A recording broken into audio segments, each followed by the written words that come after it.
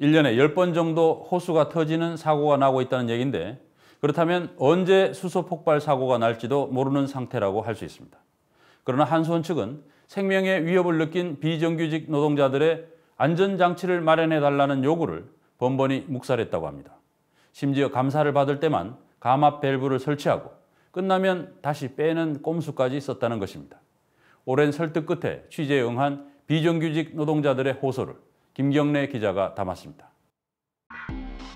감압 밸브는 수소가스 충전 작업에서 필수적인 안전장치입니다. 감압 밸브를 빼고 충전 작업을 하다가 호스가 터져 수소가스가 유출될 때마다 작업자들은 생명의 위험을 느꼈다고 말합니다. 터지면은 일을 하기가 싫어요.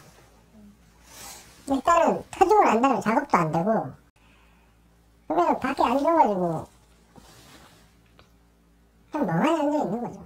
살았다 싶은 생각이죠.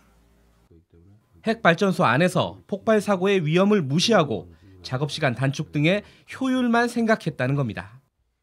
수소조정부의 마지막 안전장치는 마지막이 아니라 하나밖에 없는 안전장치죠. 감압밸브거든요. 그때 상황에서는. 근데 이 감압밸브까지 제거된 상태니까 상당히 위험함을 느꼈죠. 그 스트레스가 어마어마하셨을 것 같아요. 어마어마했죠.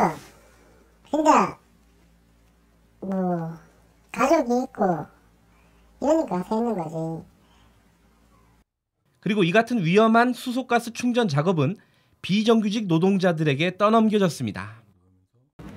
실질적으로 저희가 무슨 가스 쪽에 교육을 받은 적도 없고 그냥 하는 일이니까 어떤 전문가가 해가지고 그 일을 해야 되는데 수소가스 충전 작업이 이루어지는 동안 현장 관리 감독을 하는 한수원 직원은 가까이 오지도 않았다고 말합니다. 좀 용기 있는 사람들은 처음에는 왔어요. 바로 옆에요? 네, 처음에 왔다가 예, 터진 적이 있- 있었는데 그 다음부터 안 오더라고요. 그러면 한수원 직원이 그 이후에는 안 온 거예요? 터지고 나서? 아니요, 맞죠. 왔는데 좀 멀리 대기하고 있죠. 멀리라면은 100m? 100m 밖에. 6년간 충전 작업을 담당했던 이 작업자는 딱 한 번 감압 밸브를 설치한 경험이 있다고 합니다. 수소가스 충전 작업대가 아닌 내부 감사 때였습니다. 충전작업을 느낀 적은 없고 예전에 뭐 감사가 나온다 이래가지고 잠깐 참, 장착한 적은 있어요. 감사가 나온다고 해서 제가 그거를 달아본 적은 딱 한 번 있었어요. 감사 나왔으니까 빨리 달아야 된다고 그랬죠. 아, 왜 그래? 예. 그때뿐이었습니다.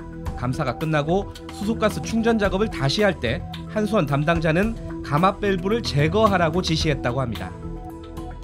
달아놓고 있다가 이제 차량이 와가지고 충전을 그때 또 제가 또 우연히 제가 근무했는데 차량이 와서 다시 빼고 했죠. 관리자로 산선 쪽에서 한 명이 와요. 빼야 된다. 해야 된다. 네, 그래서 빼고 있죠. 문제 제기나 그런 건 안 하셨어요 그때? 네, 할수 없지 않습니까? 충전 시간이 너무 오래 걸려서 감압 밸브를 달 수 없다면 고압을 견딜 수 있는 동파이프 설치 등 다른 안전 장치를 해달라고 한수원 측에 수차례 요구하기도 했다고 합니다. 하지만 호스가 터질 때마다 터진 호스를 교체하는 게 전부였다고 말합니다.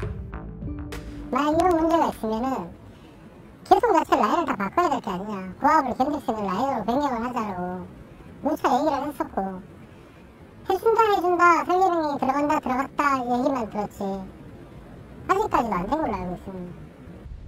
울진 핵발전소 측은 수소가스 충전 과정에서 사고가 난 사실을 보고받은 적도 없다고 말했습니다.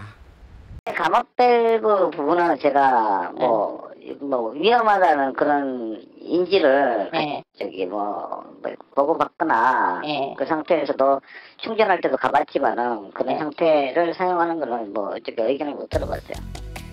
하지만 뉴스타파가 만난 복수의 작업자들은 수소를 충전한 과정에서 호스가 터지는 사고는 일상적으로 반복됐다고 증언했습니다.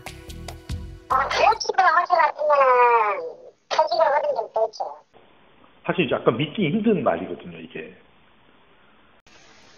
그러니까 그냥 뭐 시키면 시킨 대로 거기서 일하, 일하는 것밖에 없죠. 울진 핵발전소에서 적어도 10년 가까이 진행된 것으로 파악되는 위험천만한 방식의 수소 충전 작업. 작업 시간과 예산을 줄이기 위해 수백만 명의 생명을 담보로 잡은 어이없는 행태였습니다. 그리고 이 위험한 관행이 큰 폭발 사고로 이어지지 않은 것은 운이 좋았던 것일 뿐입니다. 평소에 실제로 사고는 일어나지 않았지만 사고가 날 뻔한 거 그게 이제 아차 사고거든요.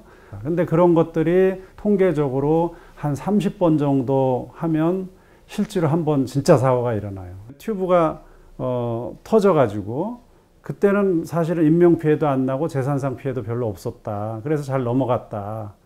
뭐 몇 번은 괜찮을 수 있어요. 그렇지만 그러다가 한번 진짜 큰 사고가 날 수가 있어요. 뉴스타파 김경래입니다.